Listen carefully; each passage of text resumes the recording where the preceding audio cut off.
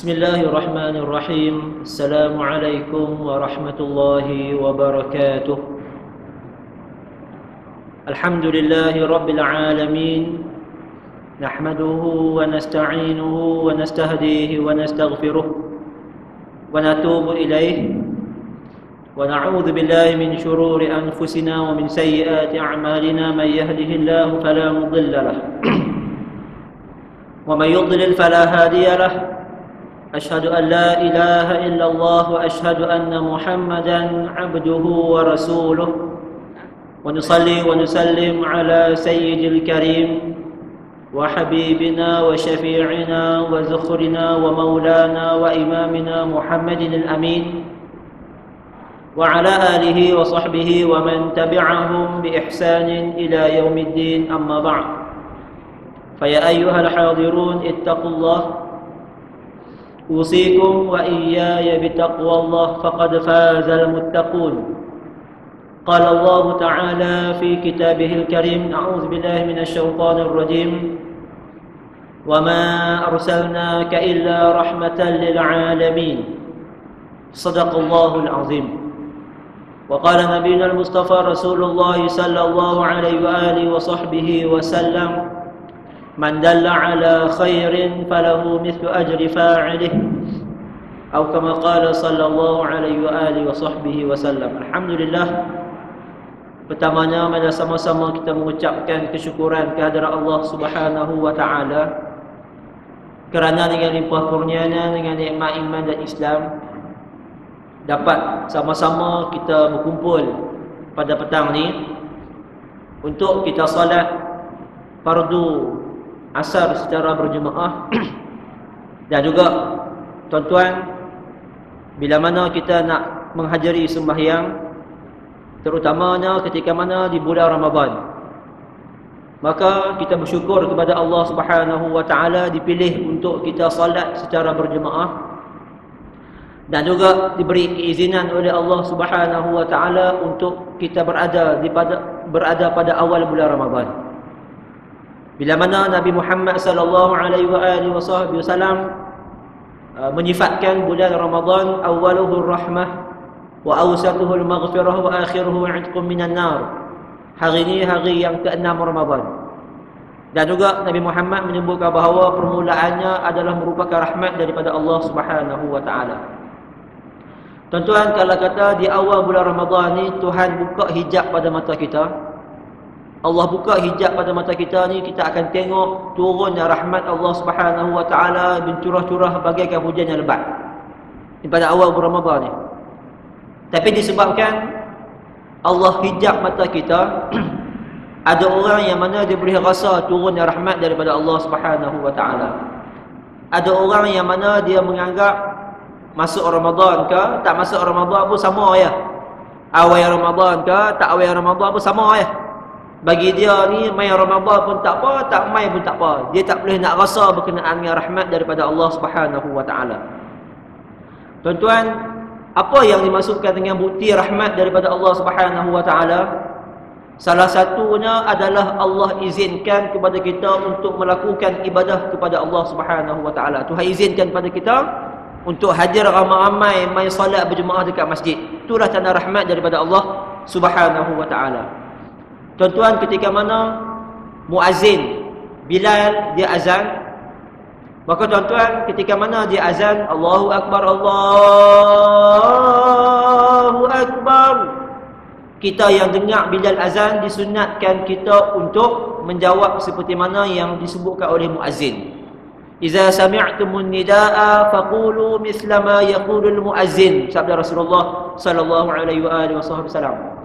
Apabila salah seorang di kalangan kamu mendengar bunyi azan, hendaklah kamu jawab sebagaimana yang kamu dengar. Maka bila mana Tok Bilal ataupun muazzin dia azan, kita pun jawab seperti mana apa yang disebut. Asyhadu an la ilaha illallah. Kita pun yang dengar bunyi azan, ucap asyhadu an la ilaha illallah. Asyhadu anna Muhammadar Rasulullah. Kita pun yang dengar, kita mengucap asyhadu anna Muhammadar Rasulullah. Tapi tuan-tuan, ada dua kalimah yang disebut ketika mana orang azan Tapi kita yang jawab tak sama seperti mana apa yang disebutkan oleh muazzin. Apa dia dua ni? Inilah yang disebutkan oleh Rasulullah sallallahu alaihi wasallam, hayya 'alatain. Hayya 'alatain. Kalimah hayya 'alatain maksudnya apa? Perkataan hayya 'alas salah, hayya 'alal falah. Apa yang kita jawab ketika mana muazzin sebut hayya 'alas salah? La haula wala quwwata illa billah. Hayya 'alal falah la haula wala quwwata illa billah.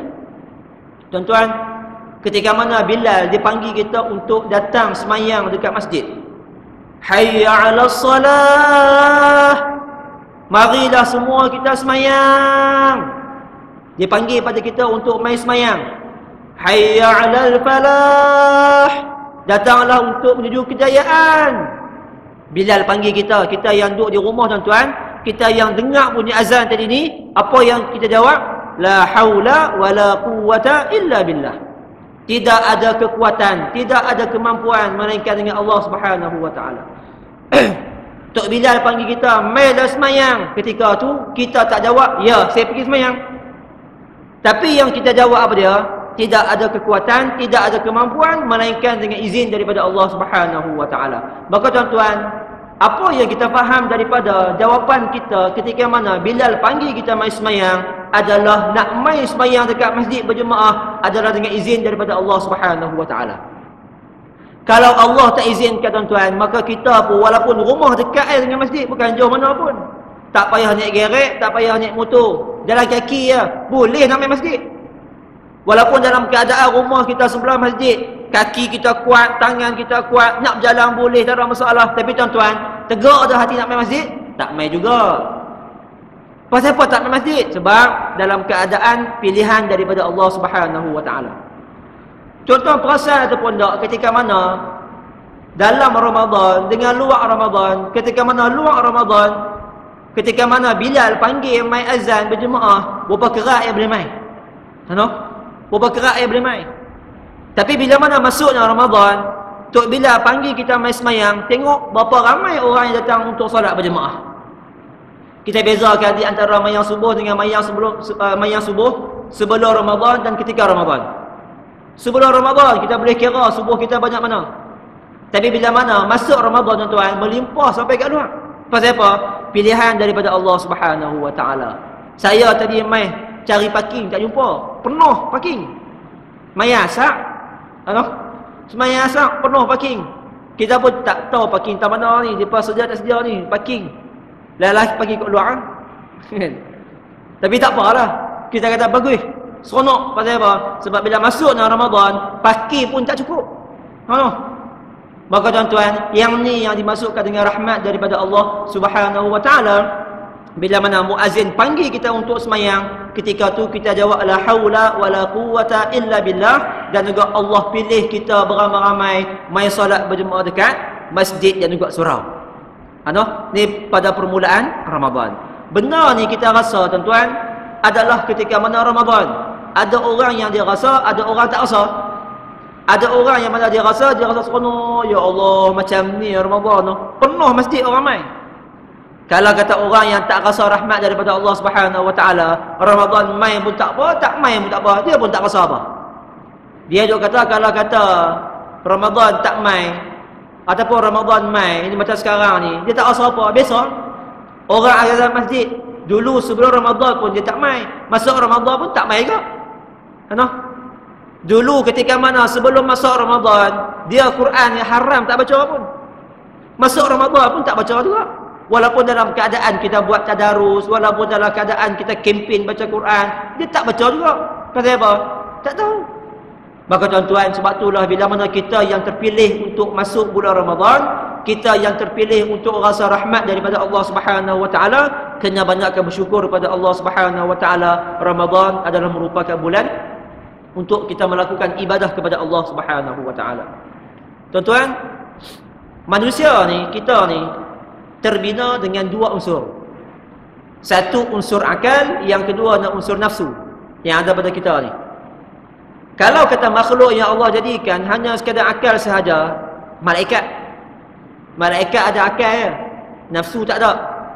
Sebab itulah malaikat ini apa yang Tuhan suruh semua dia buat. yaf'aluna ma uh, apa ni uh, la ya'suna Allah ma amarahum wa yaf'aluna ma yu'marun sifatnya ada pada malaikat tak pernah buat maksiat kepada Allah dan juga apa yang dilakukan adalah suruhan daripada Allah Subhanahu wa taala ada di kalangan para malaikat bila mana Nabi Muhammad sallallahu alaihi wasallam naik ke langit ada di kalangan para malaikat tugas dia hanyalah rukuk sahaja rukuk sepanjang masa tak pernah-pernah bangkit kepala dia ni malaikat sebab apa? Sebab kerja dia adalah untuk rukuk. Kerja dia bukan makan. Kerja dia bukan minum. Kerja dia rukuk ya. Dia rukuk ibadah kepada Allah. Sampai hari kiamat tak pernah panggung kepala. Ada di kalangan para malaikat. Bila Rasulullah naik ke langit. Malaikat yang duduk diri. Diri saja ya. Diri ya. Diri zikir pada Allah subhanahu wa ta'ala. Dan tak pernah bergerak ke tempat lain. Malaikat berdiri sahaja. Kerja aja sampai hari kiamat. Ada malaikat yang tugas hanya hanyalah duduk antara dua sujud. Duduk ya. Duduk berzikir pada Allah Subhanahu Wa Taala tak pernah bergerak sampai hari kiamat. Dan juga ada di kalangan malaikat yang mana kerja dia adalah sujud pada Allah Subhanahu Wa Taala. Tak pernah apa yang dia buat, tak pernah buat benda lain mereka sujud pada Allah Subhanahu Wa Taala. Cuma ketika mana Rasulullah sallallahu alaihi wasallam naik ke langit, jumpa dengan malaikat yang sujud kepada Allah Nabi bagi salam. Assalamualaikum Malaikat yang sujud pada Allah Subhanahu Wa Taala dengar Nabi bagi salam, dia panggung kepala, Waalaikumsalam, sujud balik. Sebab tu lah tuan-tuan kita yang solat tiap-tiap hari, no, kita akan sujud sebanyak dua kali dalam satu rakaat. Tiap. Kita yang tidak Allahu Akbar sujud, kemudian kita duduk antara dua sujud, lepas tu sujud balik.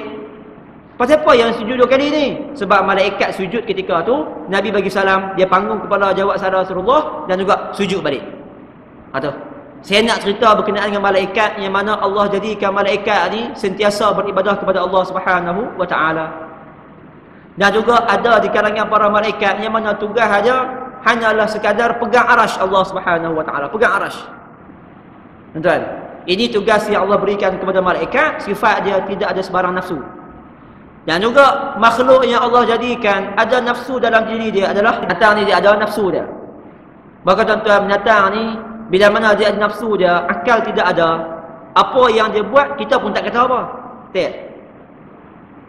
Haiwan binatang ni kencing tepi jalan.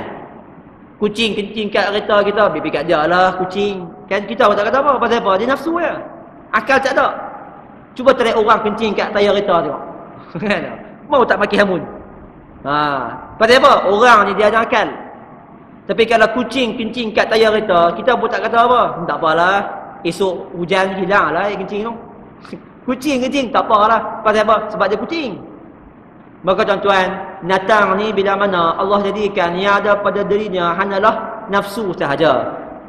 Maka sebab itulah haiwan ketika mana pada hari akhirat esok tidak dipertanggungjawabkan oleh Allah Subhanahu wa taala. Maksudnya tak ada sebarang tanggungjawab malaikat uh, haiwan. Anjing, sejahat-jahat anjing pun bila mana pada hari akhirat esok, ketika mana dia hisap, anjing tidak akan dihisap. Bahkan anjing dia akan jadi sebagai debu. Yang ni yang orang kafir kata apa? Ya Allah, kalaulah kami dulu ni jadi binatang, dekat akhirat ni tak payah hisap, jadi debu pun tak apalah. Ini ha, kata golongan kafir. Maka tuan-tuan, iaitu haiwan, dia ada nafsu sahaja. Kita manusia ni, dia ada akal, dan dia ada nafsu. Akal yang ada pada kita ni dia naik ke atas. Akal yang ada pada kita naik ke atas, lagi banyak kita baca buku, lagi banyak kita baca Quran, lagi banyak kita belajar, lagi banyak kita mengaji, lagi banyak kita main dengan kuliah tuan-tuan, di pita mana? Pi naik ke atas. Tak. Dia naik di atas ni. Dia masuk ke otak. Yang tu kalau kata kita ibadah kepada Allah Subhanahu Wa Taala, kita belajar ilmu, dia fikir akal. Dan kita manusia ni kalau kata kita buat sesuatu yang mana benda tu ikut hawa nafsu, kita makan hawa nafsu, kita minum hawa nafsu, ano? Kita berkahwin hawa nafsu. Maka tuan-tuan, segala hawa nafsu ni dia akan turun ke bawah. Kebanyakan hawa nafsu ni akan turun ke bawah. Sebab itulah bila mana apa yang kita makan, apa yang kita minum, last kali jadi taik. Dia turun ke bawah tak naik atas. Ano? Turun ke bawah ni maksudnya taik je lah. Contoh fikir lah kata, Ustaz adalah zat naik ke atas. zat makanan tu. Saya nak cerita berkenaan dengan lah kali jadi tik. Tik tu turun kita mana? Turun kat bawah. Tak ada pula tik naik ke atas. Kata? Maka tuan-tuan, pada badan kita pun dah menunjukkan bahawa kalau kata kita ni lebih kepada akal, maka tuan-tuan dia akan naik ke atas. Kalau kata pada badan kita ni kita lebihkan kepada hawa nafsu, dia akan turun ke bawah. Orang yang mana lebih mengutamakan akal, lebih mengutamakan ibadah kepada Allah Subhanahu Wa Taala, mai semayang kat masjid, dengar kuliah, bagi tazkirah, kemudian dia sedekah, baca Quran, Orang yang macam ni tuan akan diangkat darjat oleh Allah Subhanahu wa taala. Naik ke akal. Dia akan darjat oleh Allah. Tapi kalau kata orang yang mana ikut hawa nafsu dia, noh, terutamanya di bulan Ramadan ni, dia kira ikut hawa nafsu dia ya. Saat lagi ni, habis-habis kuda dia keluar-keluar tu, dia terus pergi round tawaf dekat bazar Ramadan. Ya, tak apa, tak ada masalah. Yang salahnya apa dia? dia punya ikut hawa nafsu dia. Yang tu dia beli yang ni dia beli yang tu dia beli yang ni dia beli. Tu dia penuh kiri kanan makanan yang yang nak makan ni? Berapa orang nak makan? Tiga orang aja. Dia bini dia anak dia tiga orang nak makan. Tapi tu dia makanan beli. Allah. Pasal apa? Ikut hawa nafsu. Bila mana saat lagi sampai ke rumah nak makan makan makan makan makan makan makan ada baki lagi tak makan baziak laki dia buang gitu ya ha ni baziak makanan dan juga dah makan banyak akhir sekali berat perut. Bila berat perut nak main-main kat masjid tunggu sat, tunggu makanan turun dulu. Pasal apa? Ikut hawa nafsu. Maka sebab itulah tuan-tuan, ketika mana pada bulan Ramadan ni kita disuruh oleh Allah Subhanahu wa taala, diajarkan oleh Rasulullah sallallahu alaihi wasallam untuk canai nafsu kita. Nafsu tak boleh buang, manusia ada nafsu. Manusia kita bukan malaikat. Tapi tuan-tuan, macam mana kita nak lebihkan akal ketika mana pada bulan Ramadan dan juga kita nak nipiskan nafsu. Kita nak canai nafsu ni supaya apa? Jangan nafsu menguasai diri kita. Sebab itulah apa yang diajarkan oleh tuan guru kita bila masuk Ramadan, Ramadan adalah merupakan bulan ibadah kepada Allah Subhanahu Wa Taala. Bulan ibadah. Kalau orang yang masuk Ramadan dia anggap kata Ramadan adalah merupakan bulan makan, tuan-tuan, Allah dia silap. Masuk Ramadan kira nak makan. Mau tak makan tuan-tuan? Hari yang pertama tu ayam kecil. Hari yang kedua ikan tiga rasa. Hari yang ketiga pula murtabak. Hari yang keempat pula ayam madu. Hari yang kelima, keenam, hari ni keenam tak tahu pula nak apa nak beli. Kira 30 hari tu bagi dia tu nak pusing round satu bazar tu biar semua boleh rasa. Ha tu matlamat dia. Kalau orang yang ada matlamat macam ni, masuknya dia tersalah dia punya sasaran dia. Semak Ramadan bukanlah bulan makan. Boleh makan, tapi bukan bulan makan. Tapi Ramadan adalah merupakan bulan untuk kita buat ibadah kepada Allah Subhanahu Wa Taala. Ramadan adalah merupakan bulan untuk canai nafsu kita. Yang ni ni kata Rasulullah sallallahu alaihi wasallam, la yu'minu ahadukum hatta yakuna hawahu tab'an lima ji'tu bih. Tidak beriman salah seorang di kalangan kamu sehinggalah dia menjadikan hawa nafsu dia ikut apa yang aku bawa. Ikut apa yang Nabi bawa. Maka tuan Nabi ajar kepada kita bila masuk Ramadan, puasa kita adalah puasa untuk tawan tahan hawa nafsu, puasa kita adalah untuk tahan daripada tak melakukan perkara-perkara yang mungkar, nafsu kita ditahan. Sebab itulah bila mana kata Rasulullah sallallahu alaihi wasallam ada orang yang puasa tapi puasa dia tak sama macam ciri puasa yang diajarkan oleh Nabi Muhammad. Kam min sa'imin laisa lahu min siyamin illa al-ju' wal 'atash. Berapa ramai di kalangan orang yang puasa tapi sebenarnya tak sama dengan ciri-ciri puasa melainkan hanyalah lapar dan dahaga ya. Bagi dia puasa tu tak makan tak minum macam tu ya.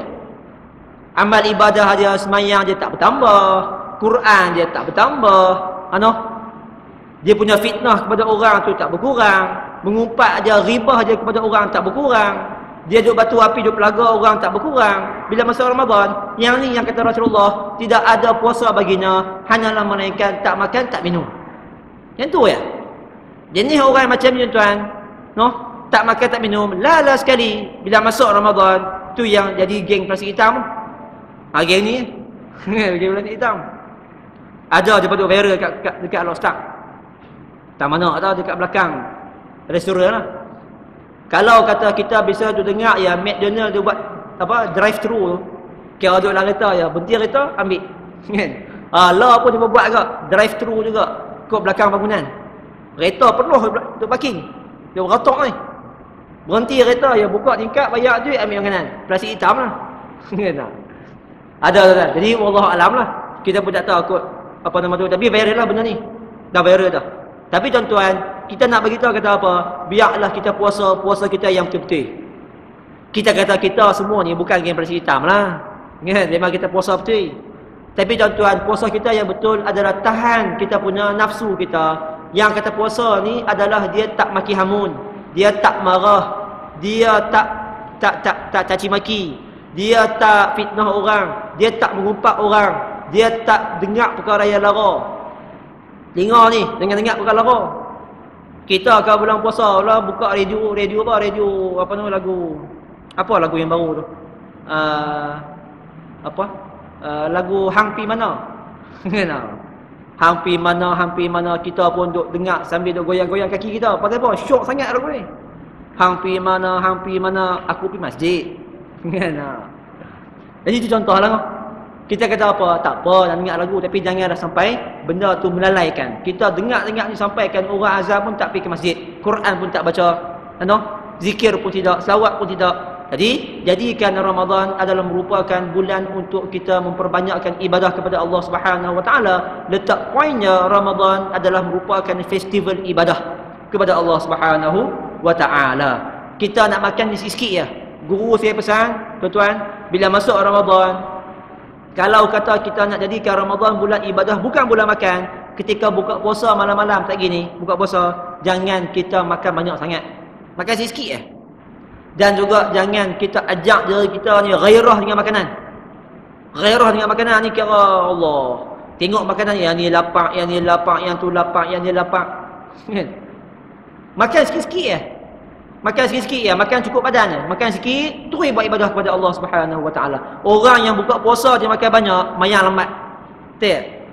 Tapi kalau orang yang buka puasa makan sikit ya, makan buka puasa sebab Nabi buka puasa. Dia pun makan buka puasa sebab ikut Nabi. Makan sikit ya tuan-tuan. Kemudian terus cepat-cepat bangkit semayang. Semayang sunat dua rakaat sebelum maghrib. Semayang tiga rakaat maghrib. Semayang dua rakaat lepas maghrib pula. Lepas tu berzikir pula, baca Quran pula. Pasal apa? Bagi dia tu, makan adalah ibadah dan dia makan untuk buat ibadah. Kalau kata orang yang makan ikut hawa nafsu, dia makan, makan, makan, makan, makan, makan, lah kali mayang lambat. Dah lah mayang lambat, Quran tak baca. Pasal apa? Berat perut ni. Letih. Makan letih. Ya Allah. Maka itu pesan guru saya tuan-tuan. Dan kita pun bila buat benda tu memang jadi betul. Ketika buka puasa jangan duk gairah sangat dengan makan ni.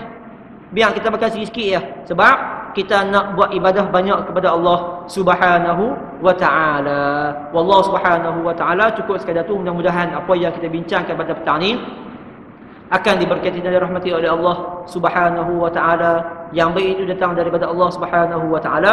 Yang buruk itu datang daripada kelemahan diri saya sendiri. Saya mohon ampun dan memaafkan aku qauli hadza wa astaghfirullah li wa lakum kita tangguh dengan tasbih kafarah dan suratul asr subhanakallahumma wa bihamdika asyhadu an la ilaha illa anta astaghfiruka wa atubu ilaik ila allazina amanu wa 'amilus salihati wa tawasaw bil haqq Assalamualaikum warahmatullahi wabarakatuh